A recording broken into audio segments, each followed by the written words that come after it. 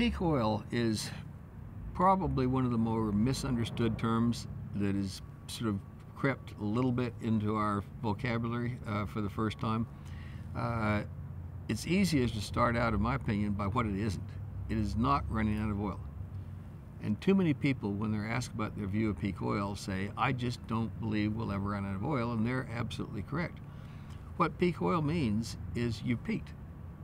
And and and, and, and that defines the limits to growth. And from all the data we have, from individual wells profiles where we have hundreds of thousands of wells, from individual fields that have peaked, from basins like the North Sea that have peaked, you don't have a very a very long plateau. You tend to basically have a production profile that when, when once you peak, you come down the other side by as rapid as 10 to 25 percent per year. Now the good news is once you get down to a, a base of about 10 to 15 to 20 percent of where you peaked, you then tend to level out as long as you keep drilling and, and injecting uh, things and so forth, and that tail can last for 200 years. The problem is that it's just a tail, and the, and, the, and and all of that would be relatively uninteresting and unimportant if we had peaked in the use of oil and gas. But unfortunately, the oil and gas demand is still very young because we've spent the majority of the last hundred years limiting people that used oil and gas to Western Europe the United States of America, Canada, and Japan. And in the last 30 years, we have now entered a world we call globalization. And most of the people in the world don't live in the industrial companies. They live in what used to be called the underdeveloped world, and ironically, we now appropriately call it the developed world. It's where all the population growth is, and their per capita energy consumption, their per capita oil consumption is minuscule to what ours is, and they want to live like us. So we've entered a world where the demand models are literally going like that, and there is a stunning amount of data that is basically arguing very loudly that we might have already peaked. And the and the and the singular biggest biggest issue that in in my opinion will define how long the 21st century can last, let alone whether we could ever even dream of making it through the 21st century, is how we cope with the gap between the in, between the inexhaustible planned growth for oil and a dwindling amount of oil we can use. And that's effectively called peak oil. The sort of godfather of the peak oil movement was a guy named M. King Hubbert, who was a senior scientist at Shell Oil Company. He actually produced his first major paper in Physics magazine in 1949 when he observed the fact that with the appearance indication that, that, that, that global demand for oil was going to just starting to grow, that it would probably be around 50 years before we actually had a peak of global oil. Almost no one read that article. What people remember is in San Antonio in 1956, when much to the chagrin of Shell Oil Company, who tried to keep their senior scientists mum because they didn't want to look like a bunch of nutcases, uh, Dr. Hubbert came to the American Association of Petroleum Geologists and made this major presentation that based on all the known data, uh, it would appear that in the United States of America, we are now approaching the 50% mark of all of the oil that we will ever use. And once we cross that mark, the downside will be like that, and that will mark the peaking of U.S. oil. And it was so interesting. He became, a, you know, famous within his industry for that.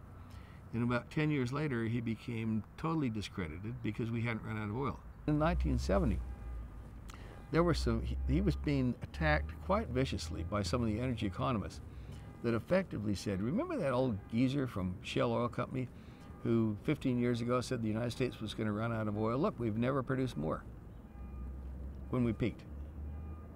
And as far as we know, from the best data we have in December 1970, uh, we had the highest amount of recorded oil ever produced in the United States. And once it started down, no one paid any attention to it because we discovered Alaska. We, we knew that even if there's just Prudhoe Bay, that's enormous, and there's probably 10 Prudhoe Bays. And so no one really cared that still the lower 48, we all knew that was mature. And it, it really wasn't until about 1985, 86 that people started saying, isn't this amazing? Even with Alaska coming on, now we've found everything in Alaska, we still peaked in December 1980, 1970. Uh, when do I think we're going to peak? I, I look very carefully every month at the data put out by the Department of Energy in the United States. It's called our monthly energy report. Way back at the back of this 150 page document is table 11.1b, World Crude Oil Output, and month by month. And, and uh, a couple of years ago, I thought it was interesting to see that we, that we finally, for the first time ever, in crude oil crossed 74 million barrels a day in April. And then in May, we jumped up to what's been revised now finally up to 73, 74.3 million barrels a day. Then we had two other months at 74, and then we dropped back to 73. And as of June, which is the last, they now have July, the first month is always revised. So in, in June of, seven, of 2007, we're down to 72.8. So I say in a brief two years, we're off a million and a half barrels a day. And if you look at the underlying data, why? Too many countries are now in irreversible decline.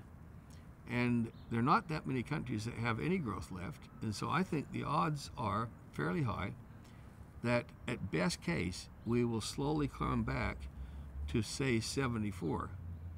But if we if, if a year from now we're still in the low 73s or 72, then, then I think the odds are very high that peak oil is past tense. Now, bigger question. The world's using 86, all the forecasts of next year we're going to use 88 million barrels a day of petroleum. If we're only producing 73 of crude, how do we get there? Natural gas liquids, which is basically primarily coming, it's, it's the associated gas in old oil fields.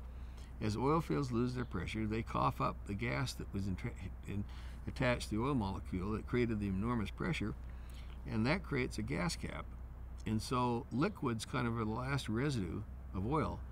So we've had a very surprisingly steady growth in global liquids from about 6 to 12 million barrels a day over the last 15 years. But taking that from 12 to 15 is almost impossible. So if we peak in crude oil output, we might have a little bit longer of coasting along on a plateau of, of liquids, natural gas liquids creating, but the idea that we can ever get to 90, 95, 100 million barrels a day, let alone 120 or 130, which some very well intentioned studies have shown we need as the developing world creates a minuscule amount of the mobility that we do, because it's all transportation then we basically have caught ourselves in a situation that is more dangerous than Europe faced at the end of the 30s when finally we realized that the Germans really were serious. They were going to go to war.